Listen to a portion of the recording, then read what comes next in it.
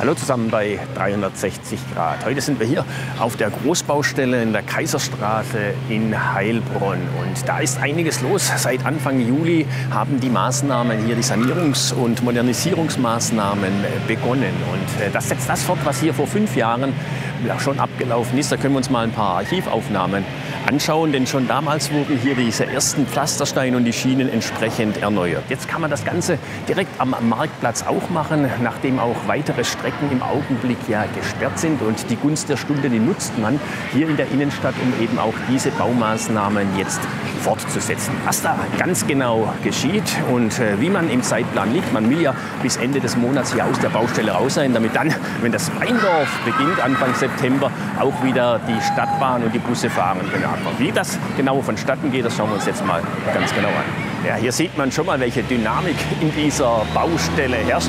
Es geht ordentlich zur Sache, damit man pünktlich äh, fertig wird. Und äh, die gesamte Maßnahme kostet rund 750.000 Euro. Und man sieht natürlich jetzt auch mit den Bauzäunen, die hier in der Fußgängerzone angebracht wurden. Und man muss natürlich auch mit allerhand Unabwägbarkeiten kämpfen in den letzten Tagen, denn es wurde ja hier komplett auch alles zurückgebaut. Und als es geregnet hat, musste man das Wasser erst einmal wieder hier herauspumpen, damit man auch weiter arbeiten konnte. Und die Schienen, die ja hier verlegt worden sind, die sind ja immer noch die alten, die mussten nicht erneuert werden, ganz im Vergleich zu der Maßnahme von vor fünf Jahren. Was allerdings erneuert wird, das ist eben der komplette Untergrund und da sieht man auch im Hintergrund die Asphaltarbeiten.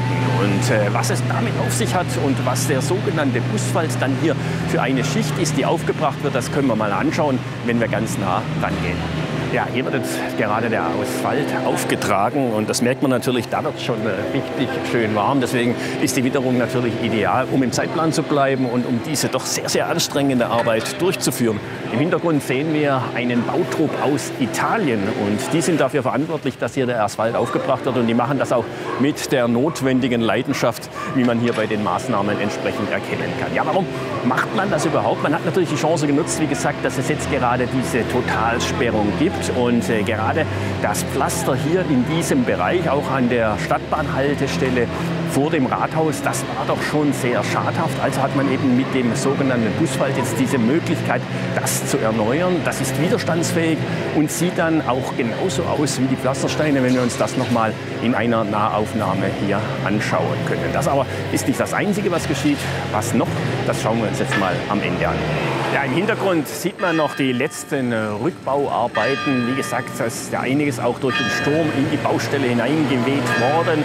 Und damit jetzt alles sauber gemacht wird, bevor der Asphalt aufgebracht werden kann, wird hier quasi nochmal die Spur entsprechend gereinigt.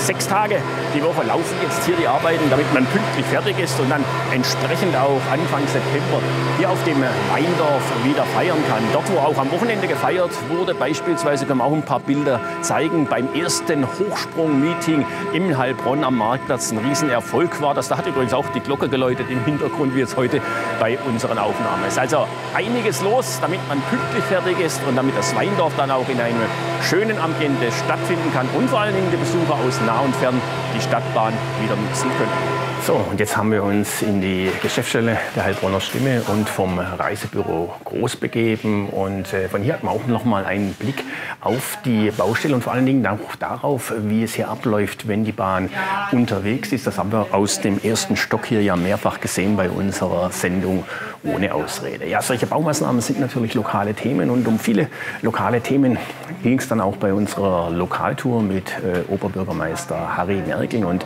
es sind ja in allen Großstädten die gleichen Themen, Sauberkeit, Sicherheit, Klima, Verkehr, denen man sich entsprechend stellen muss. Und es geht natürlich auch hier in Heilbronn um die sogenannte Sommerzone. Auch da hat man sich gestellt, wie es denn damit weitergehen kann und vor allen Dingen, wie sich der Handel in der Innenstadt entwickeln soll bei all den Herausforderungen, die derzeit bestehen. Also eine ganze Menge Gesprächsstoff und den liefern natürlich auch immer wieder die Gartenschauen. Und da ist man natürlich auch immer schnell bei einem Vergleich zwischen der aktuell laufenden Bundesgartenschau in Mannheim und der Buga in Heilbronn, die ja vor vier Jahren stattgefunden hat. Und da sieht man schon ein paar Unterschiede. Mannheim natürlich viel, viel größer, dreimal größer. Und äh, in Sachen Nachhaltigkeit und Klima wird da nicht mehr viel verändert. Da hat man großen äh, Wert darauf gelegt. Dafür gibt es aber viel weniger Veranstaltungen als in Heilbronn. Da beschweren sich die Mannheimer Gastronomen, dass zu wenig äh, los sei. Und so das richtige Buga-Feeling kommt auch nicht auf an den zwei Standorten in Mannheim, im Spinelli-Park und im Luisenpark. Also da hat sicherlich äh, bei allem Lokalpatriotismus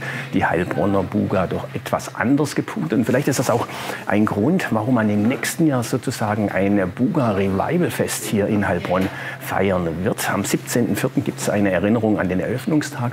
Und dann, so hört man, soll das Lichterfest auch in so eine Art Buga-Atmosphäre getaucht werden. Und zwar über das gesamte Buga-Gelände am Neckar soll dann eben dieses Lichterfest stattfinden, damit man sich noch einmal an diese Gartenschau erinnert. Und Erinnerungen an die Gartenschau gibt es beispielsweise auch in Eppingen im Vorjahr ja ein großer Erfolg. Und jetzt finden im Weiherpark der sogenannte Festival Sommer statt, auch mit vielen äh, Künstlern, die zahlreiche Besucher anlocken. Also da haben sich die Macher von einst schon wieder einiges einfallen lassen. In Öhringen macht man das ja genauso. Da wird das Lagergelände auch für Festivals aller Art noch immer genutzt. Da sieht man, Erfolg kann durchaus nachhaltig sein. Und wenn er so erfreulich ist, dann ist es etwas Positives für alle Menschen hier in der Region. Das war's für diese Woche. Bis zum nächsten Mal.